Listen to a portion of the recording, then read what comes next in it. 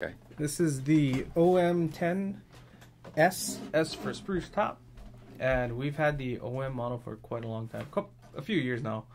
Um, this is offered also in mahogany with cedar and uh, rosewood, rosewood and spruce, and also limited in rosewood and cedar. Anyways, this is the spruce and acacia version.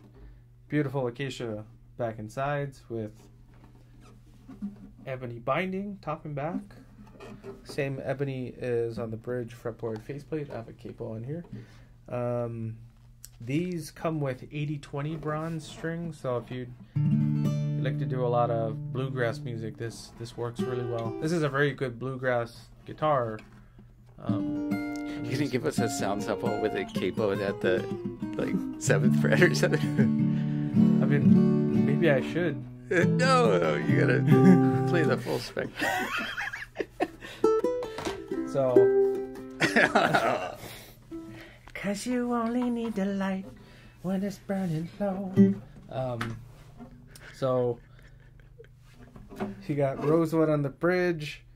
It's gonna be such a weird sound self description.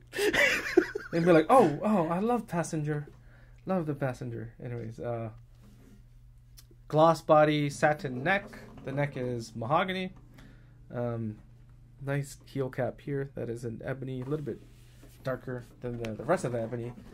Uh, Grover Sta-Tite tuners, 18 to 1, very smooth, very easy to use.